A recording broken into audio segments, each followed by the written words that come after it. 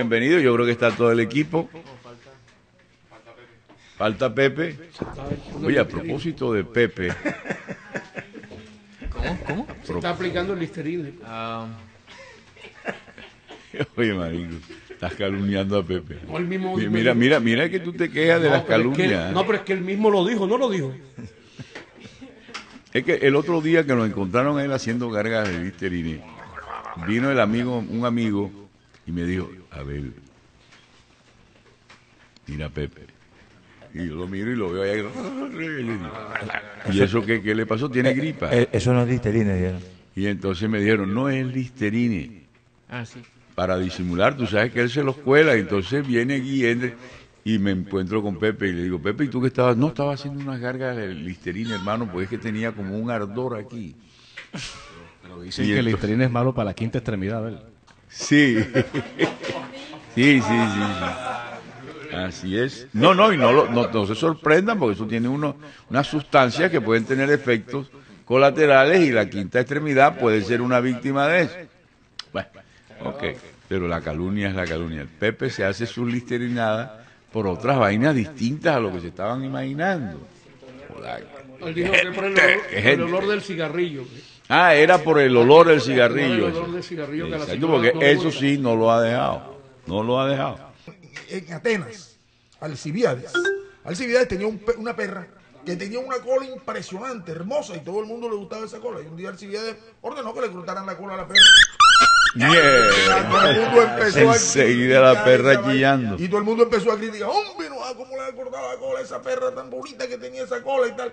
Y le preguntaron a Alcibiades, ay, ¿por qué lo hizo? Y dice, porque mientras hablen de la cola de la perra, no van a hablar de la forma como estoy gobernando Atenas. La gente, no, a, a mí, a mí varias veces me decía, alguna vez que tuve alguna preocupación por algo, dice, déjate crecer el bigote. Oye, ahora estás de bigote. Córtate el bigote. Y a te cortaste el bigote. No, si te quedaba mejor el bigote. Oye, hay una, hay una, y además eso hace parte de la, de la, de la felicidad, entre comillas, ¿no? Eh, la gente necesita un pretexto para criticar. A reír. Y además, criticar caricaturizando, que es lo que produce risa. Lo que produce risa. Claro. Desde luego que... Entonces, ¿qué, qué dices tú, Lucho? ¿Qué- No, dice que, que, que tal que se le cortará la cola aquí a todas las perras.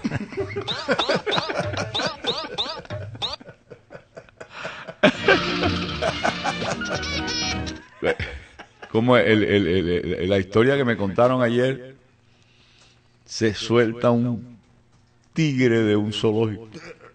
Imagínate tú, tú ese una estampida. Y, y ese tigre aquí que está alimentado con pura mortadela económica. Sí, pues a- eh, los tigres aquí del centro. De pues, ya- ya 10, cuatro- 10, 15 mortadela económica con, todo el día. con filo. y el tigre sale mandado a cuadro y sale la gente. Y hay un, hombre, no joda, que está en silla de ruedas. Y entonces la gente empieza a gritar, el de la silla de ruedas. Pero era para tratar, el de la silla de ruedas. Y el man de la silla de ruedas dice, pero dejen que escoja él, no joda. no me lo-". Joda, pobre. Ay, mi hace muchos años, mi colega José Orellano, yo no sé si eso, si esa historia sería verdad o no, pero él contaba que en un circo que llegó aquí, a un tigre de estos de bengala, Ajá. le echaron al burro eh, flaco, eh, Aquí los compran, los compran, los burros esos que están abandonados, te los tiran a los tigres, los tircos. y se lo echaron Claro. al tigre, el, tigre- el burro le ha pegado dos pretilazos al tigre que casi que lo mata. Eso lo contó José Orellano en el. Eh, eso fue cierto. Joda, es- es- es- claro, tú ves que, que- que se lo... No, no, no, no, no, no, esa historia de un burro de cuatro patas. dices. patas, sí. Pero el burro cuando sintió la pezuña, bueno, la garra, mejor dicho, del tigre, que se asustó y,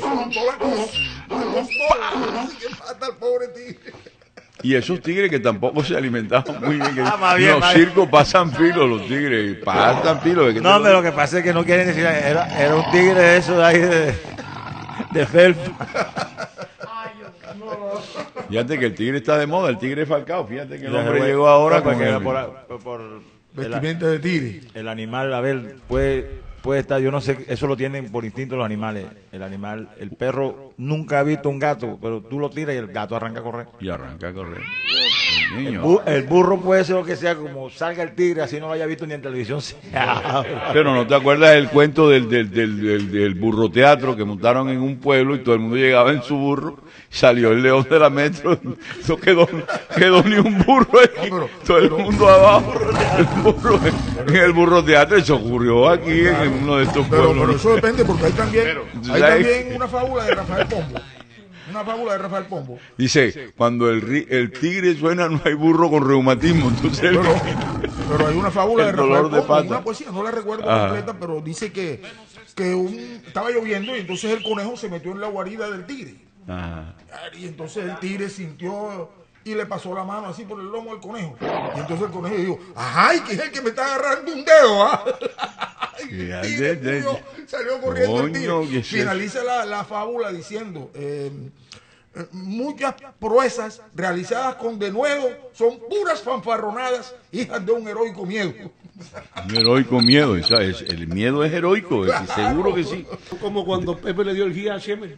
Que tú no se lo Cerró los ojos y la bola pegó en el bate y salió de Pepe, que le tiraste con los ojos. No, no, no. Hola, Marengo, estás calumniando, No, es que- Marengo. ¿Te gusta la calumnia? Yo estaba Ah, ahí, claro. es que yo, eh, eh, ahí yo no fui el que batía el hit por encima de segunda. Lo que pasa es que como Marenco batió un ruleta así, a tercera que lo cogió y su rentería así aguante volteado. Está chillando por eso. Pero si fue calumnia, ¿viste? Viste, ya ves. Te, te le dice Marengo, Pepe, tú que sabes inglés, este, léeme aquí. Y Pepe dice, a ver. No, aquí dice que Rentería pasea por el Mediterráneo.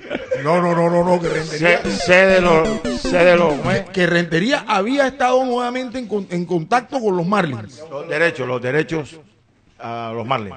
No, que había, no, no que le cede los derechos. está Que la había grabación. entrado en contacto nuevamente con los Marlins. Sí.